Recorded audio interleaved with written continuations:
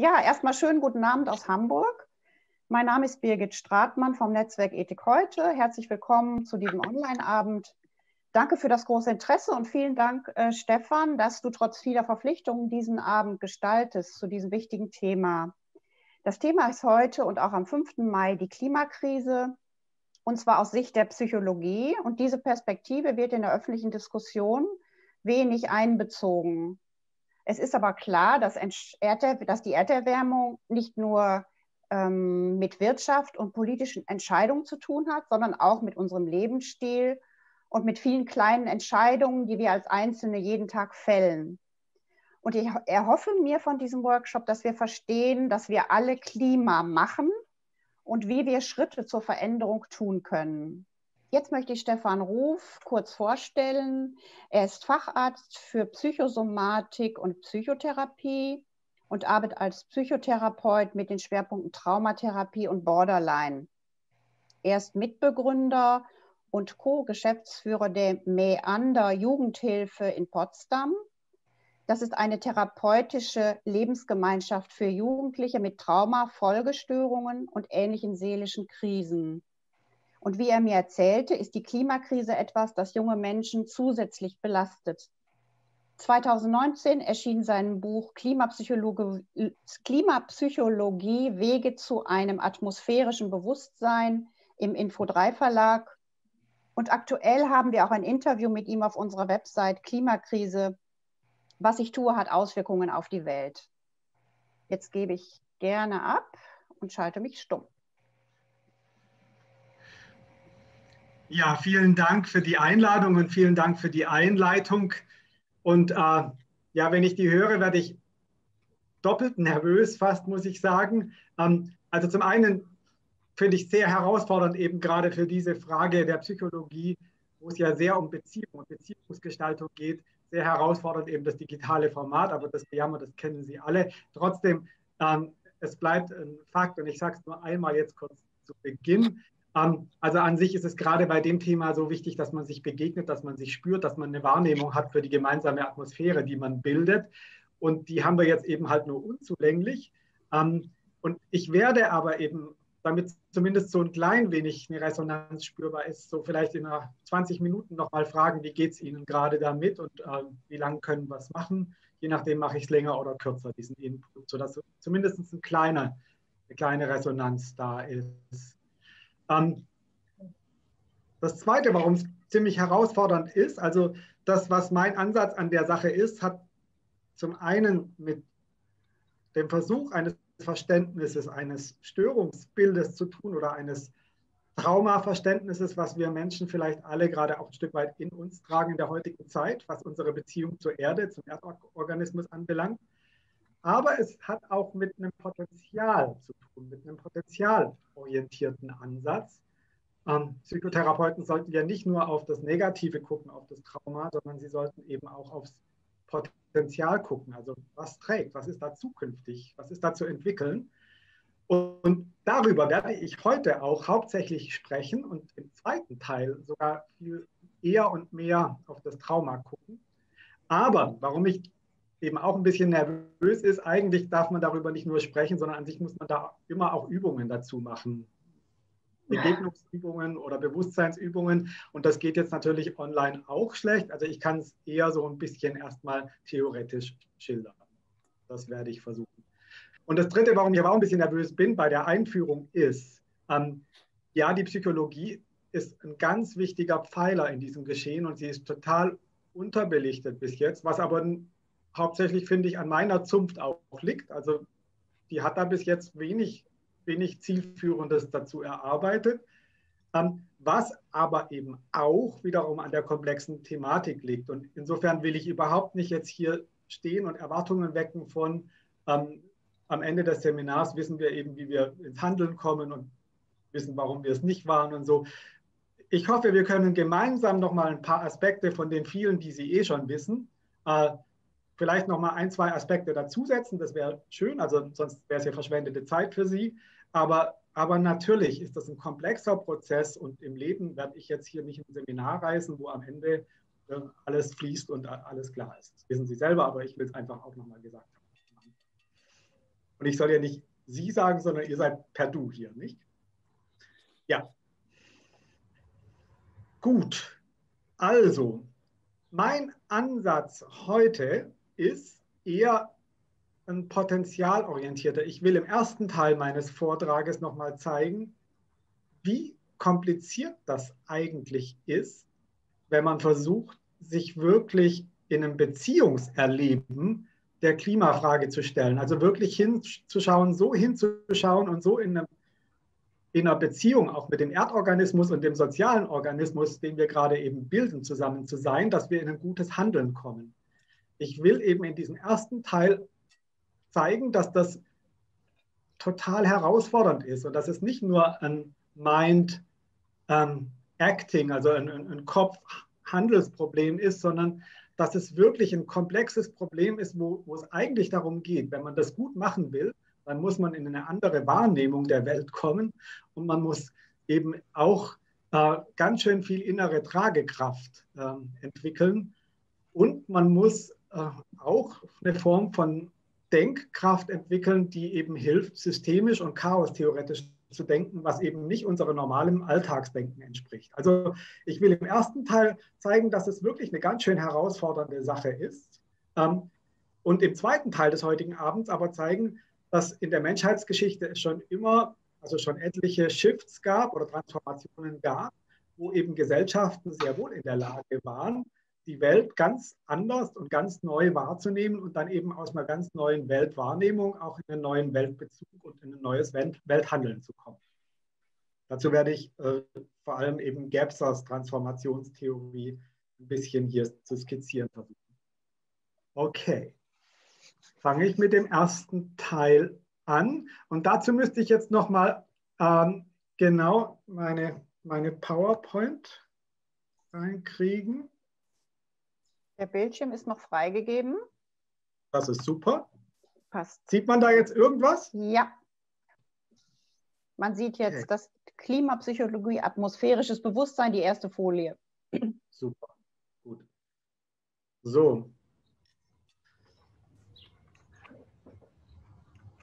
Ich habe mal versucht äh, zu skizzieren, welche Komponenten ein, ein menschliches Bewusstsein bräuchte, aus meiner Sicht mindestens bräuchte, um in der heutigen Zeit mit der Herausforderung der globalen Klimakrise angemessen umzugehen. Und man kann das ruhig erweitern auch auf globale andere ökologische Krisen und kann es ein Stück weit sogar erweitern auf andere globale soziale Krisen. Also wir leben ja gerade in einer Zeit, wo, wo immer mehr Menschen auch sagen, also von der transformativen Qualität dieser Zeit stehen wir der Renaissance und diesem Bewusstseinswandel von Mittelalter zu Neuzeit eigentlich in nichts nach. Ja? Ähm, und diese These würde ich zu 100 Prozent unterschreiben. Ich würde sie fast sogar noch ein bisschen größer setzen wollen. Vielleicht kommen wir dann nachher noch dazu. Aus meiner Sicht brauchen wir im Moment wirklich mindestens fünf Komponenten in unserem Bewusstsein, die alle das 0815 Alltagsbewusstsein oder das moderne menschliche Bewusstsein transzendieren, also die da drüber stehen, fünf, mindestens fünf Bewusstseinsqualitäten und die will ich kurz skizzieren oder kurz andeuten. Also wir brauchen auf jeden Fall mehr und mehr die Komponente eines dialektischen Bewusstseins, um die Klimakrise gut handeln zu können. Und was heißt dialektisches Bewusstsein? Dialektisches Bewusstsein heißt die Fähigkeit, ähm, gleichzeitig quasi innerlich halten zu können, Verzweiflung und Hoffnung. Also gleichzeitig quasi in sich die Emotionen und Gedanken halten zu können, die ausgelöst werden, wenn man eben hinschaut im Moment auf die, die Entwicklung, die Klimakrisenentwicklung. Und wenn man da eben hinschaut, wenn man da wirklich hinschaut und nicht träumerisch hinschaut oder sanguin hinschaut, dann ist es ja schon so wie auf der linken Slides-Hälfte beschrieben. Also dann ist es schon so, dass es einem ganz klar zum Verzweifeln bringen kann. Denn ähm, Klimaziele Richtung 1,5 Grad sind total unrealistisch. Wir alle wissen, was Kipppunkte bedeuten. Und insofern ist nach gegenwärtigem Stand auf jeden Fall die Wahrscheinlichkeit extrem groß, ähm, dass wir auf auf ziemlich katastrophale Szenarien zusteuern. Um das klar zu sagen, aus meiner Sicht nicht auf Szenarien, wo die Menschheit aussterben wird, aber auf Szenarien, wo ganz viel eben menschliche und nichtmenschliche Wesen sehr viel Leid haben werden, weil, weil weite Teile der Welt eben unbewohnbar sein könnten. Und insofern viel Krankheit, Flucht, Tod, Gewalt etc. Also das ist die ungeschminkte Realität Stand jetzt. Wenn man aber nur so drauf guckt, wird man depressiv, wird man, äh, wird man gelähmt, äh, wird man traumatisiert, ähm, kommt Climate Anxiety Syndromes oder andere äh, Krankheiten, die ja gerade schon eben äh, langsam benannt werden. Man muss also sehr wohl auch dahin gucken, wo, wo Hoffnung ist in dem Ganzen. Und da ist ja eben auch eine Menge Potenzial und Hoffnung. Aber wenn man nur auf die rechte Bildseite schaut, dann, dann nimmt man eben auch die, die reale Situation im Moment nicht richtig wahr und äh, denkt, es gibt Abkürzungen mit, mit super technischen Lösungen oder dergleichen. Also man hat aus meiner Sicht dann nicht das Bewusstsein, was es braucht, um diese Jahrtausend-Herausforderungen wirklich zu, zu stemmen. Insofern, man muss es irgendwie schaffen, gleichzeitig rechts und links im Bewusstsein zu haben und nicht als ein Entweder-Oder, sondern möglichst als ein Und. Um das zu schaffen, braucht man innerlich ganz schön Tragekraft. Und diese Tragekraft zu erlangen, das ist eine ganz schöne Aufgabe. Da kommen wir vielleicht beim nächsten Seminar, wenn Sie da nochmal Interesse haben, mehr darauf. Der zweite Punkt geht in eine ähnliche Richtung und auch den werden wir beim nächsten Seminar, äh, wenn Sie Interesse haben, eben nochmal ganz anders angucken. Also wenn man sich mit der Thematik beschäftigt, dann geht es immer auch darum, dass man eben eigene Anteile, die man da drin hat, äh, anschaut und nicht versucht, die zu verleugnen, zu verdrängen, zu projizieren, zu externalisieren. Man muss also eine Achtsamkeit auch ausbilden dafür, für was der eigene Anteil daran ist und die Gefühle, die damit eben verbunden sind, auch immer wieder aushalten. Ähm, mehr dazu, wie gesagt, beim nächsten Mal, wenn Sie wollen. Die dritte Komponente, die hat jetzt nicht so sehr mit dem Innenleben zu tun, sondern die hat mehr wirklich mit der Wahrnehmung im Außen zu tun, also der Weltwahrnehmung. Man, um eben Klimakrise nicht nur denken zu können, und wenn man sie nur denken kann, kann man sie eben sehr gut verdrängen. Und wenn man sie verdrängen kann, dann kommt man nicht ins Handeln. Also um Klimakrise nicht nur denken zu können, sondern in Ansätzen wahrnehmen zu können, braucht man, braucht man ein anderes Raumbewusstsein, als zumindest ich und aber auch viele andere Menschen, die ich kenne, in ihrem Alltagserleben haben. Im Alltagserleben ist es zumindest, ich weiß nicht, wie das Wetter bei Ihnen war, bei uns in Berlin heute war es herrlich, also blauer Himmel, war richtig, richtig Frühling. Und im Alltagserleben ist es für mich kein Erleben, dass ich quasi umhüllt bin von einer Atmosphäre, die quasi eine Grenze ausbildet in ungefähr 12 bis 14 Kilometer über meinem Kopf. Also in meinem Alltagserleben ist da eben ein riesiger offener Raum und dieser riesige offene Raum geht eben in den Kosmos raus. Und wenn es Nacht ist und es ist eben auch klarer Himmel, dann sehe ich da die Sterne. Und wenn es Tag ist, sehe ich eben diesen blauen Himmel. Dass da aber eine Grenze ist, die mich eben umhüllt, in 12, 12 bis 14 Kilometern Höhe umhüllt und quasi einen riesigen gekrümmten Raum bildet, an dem ich teilhabe, den ich mitbilde. Und dass diese Grenze sich aber eben verdichtet. Hier kann man sie so ein bisschen sehen. Also ja, dieses, dieses milchige, dieses sphärische, dieses Hauch kreisförmige, sphärische da im Umkreis, dass die sich eben verdichtet, aber eben auch nur verdichten kann, weil da eine Grenze ist und weil es da eben nicht einfach weitergeht. Und dass diese Atmosphäre, diese Sphäre, was ist, was wir alle zusammen bilden, ich und die Kühe in den Alpen und das Great Barrier Reef äh, vor Australien und irgendein Hochmoor in den Anden, wir alle wir alle bilden diese Atmosphäre mit durch unser Atmen, durch unseren Stoffwechsel. Ähm, wir sind also alle eingebettet in diesem gekrümmten, riesigen Raum, der aber eben nicht unendlich ist, sondern begrenzt ist. Durch Grenzen, die fast nicht materiell sind, so fein sind sie. Und insofern ist eben auch eine Konzentrationsverschiebung von, ja, Sie alle wissen es, aber ich wiederhole es einmal nochmal, weil das gehört ja zum Thema, also von einem CO2-Konzentrationsgradient von 0,028 Prozent, wie er eben noch Mitte des 20. Jahrhunderts war, zu jetzt 0,042 Prozent. Insofern ist so eine minimale Konzentrationsveränderung eben in dieser Feinstofflichkeit was, was eben eine unglaubliche Wirkung hat, die wir jetzt mehr und mehr wahrnehmen. Aber was eben gefragt wäre, aus meiner Sicht, wäre ein Bewusstsein von diesem gekrümmten, begrenzten Raum. Und das können wir denken, wir alle haben es in der Schule gelernt, aber wirklich wahrnehmen, in, zumindest so in Ansätzen wahrnehmen, das kann ich zumindest nur, wenn ich mich wirklich versuche, dafür zu öffnen. Und da sind wir eben schon fast wieder bei was Meditativen und bei was Übenden. Genau. Und insofern ist oft mein Alltagsbewusstsein auch noch so. Vom Kopf weiß ich es natürlich anders, aber ich meine jetzt vom reinen Bewusstsein, wenn irgendein Schornstein raucht, dass man denkt, da ist ja nicht schlimm. Also das raucht ja einfach da in den Kosmos raus und dann ist es weg. Nee, ist es nicht. Wissen wir alle. Das mit dem Raumbewusstsein geht aber nicht nur in diesen sphärischen Raum, sondern das hat auch was wirklich mit einem Raum- oder Grenzbewusstsein im Alltag zu tun, das wir offensichtlich ja eben nicht ausreichend haben. Deswegen nehmen wir ja viel zu viel Raum in Anspruch und deswegen gibt es eben ja, Messsysteme, wo man eben versucht, abstrakt zu berechnen, also wie viel wie viel Raum, Erdraum nehmen wir uns eigentlich und äh, wie viel zu viel nehmen wir uns eigentlich. Wir müssen das abstrakt berechnen, weil wir es eben auch wieder nicht wirklich wahrnehmen. Es ist immer noch ein starkes Wahrnehmungsproblem.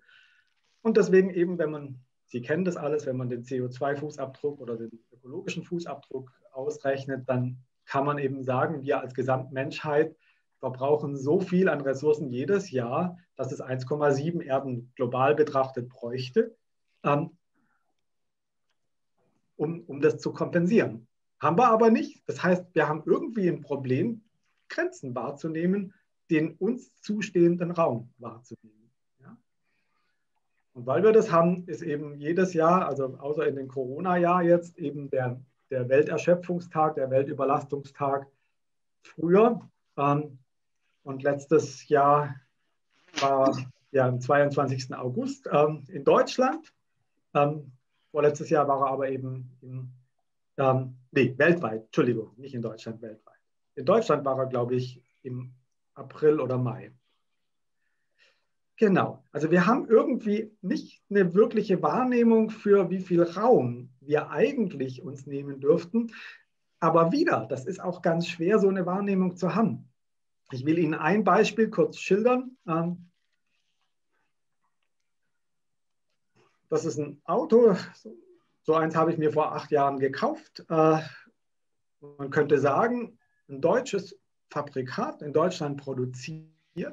Ähm, insofern ist der Raum, in dem es produziert wurde, klar definiert, nämlich Deutschland. Und der Raum, wo es jetzt eben steht, meistens steht es, ich fahre fast nur noch Fahrrad, aber, aber ich habe es noch, der Raum, wo es steht, ist Berlin, also auch Deutschland. Insofern wieder, also wo ist da ein globales Problem an diesem Auto? Aber in diesem Auto sind ungefähr 15.000 Teile drin.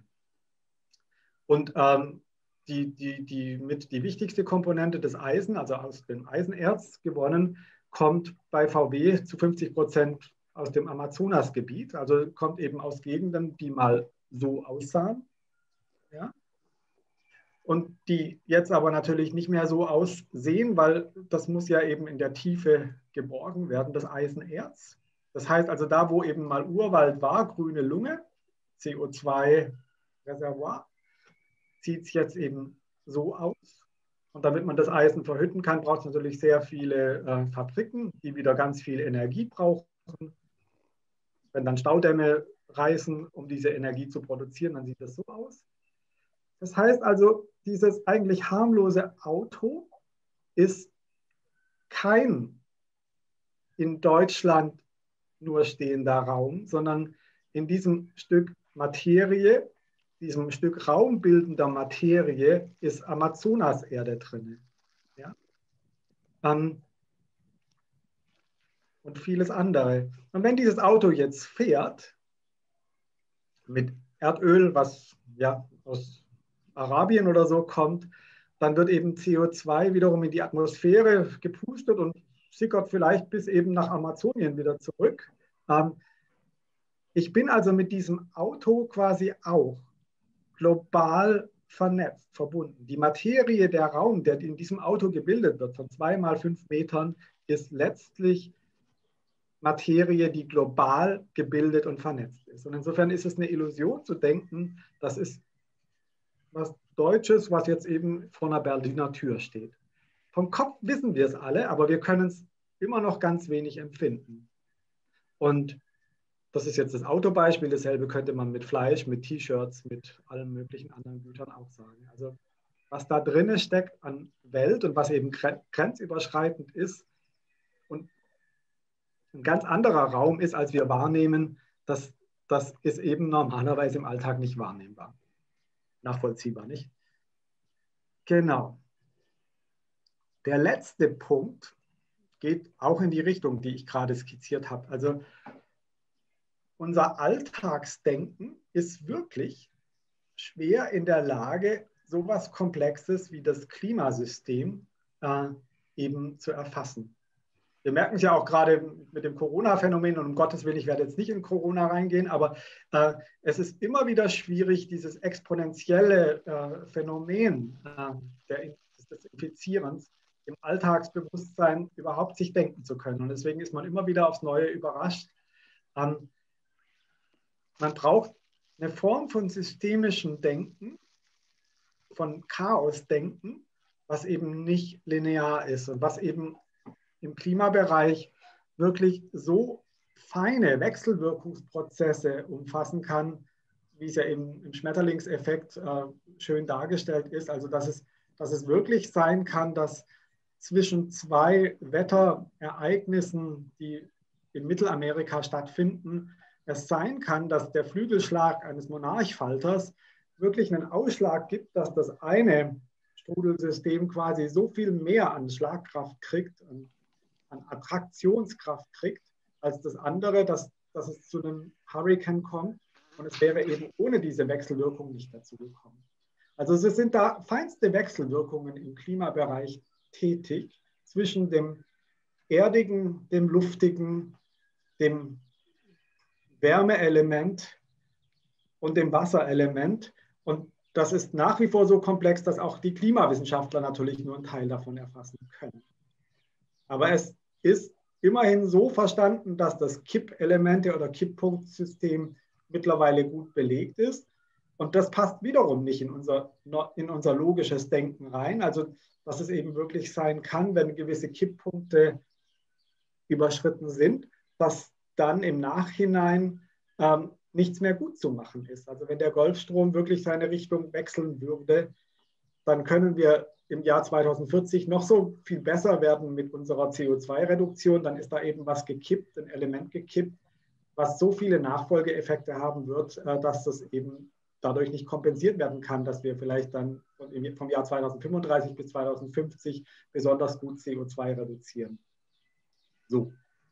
Also das denkerisch nachvollziehen zu können, ist auch eine Denktätigkeit, die nicht dem Alltagsdenken entspricht. Und insofern ist es eben wirklich eine ziemlich komplexe Sache, äh, sich dieser Problematik zu stellen. Da sind eben jetzt nochmal diese Punkte aufgeführt. Ähm, die gute Nachricht ist, dass das ja eben nicht das, was ich hier als These beschrieben habe, nicht eine An-Aus-Sache ist, also im Sinne von entweder man hat das alles zu 100 Prozent ausgebildet oder man kann es gleich klicken, sondern dass es natürlich äh, was äh, Quantitatives im Fluss seiendes ist und dass ganz viele Menschen, die ich im Moment erlebe, eben ganz viel von diesen Qualitäten eben ausgebildet haben. Also da ist ja gerade eine Menge am passieren. Und ich würde dieses Phänomen, was da aber, finde ich, gerade in im Sozialen bei so vielen Menschen, meistens jungen Menschen, aber nicht nur, wahrnehmbar ist. Ich würde dieses Phänomen eben auch einen Bewusstseinswandel nennen wollen. Also da transformiert sich gerade ein modernes Bewusstsein, ähm, was eben diese fünf Qualitäten, die ich da beschrieben habe, an sich nicht leisten kann, sondern anders tickt. Also da passiert gerade ganz viel.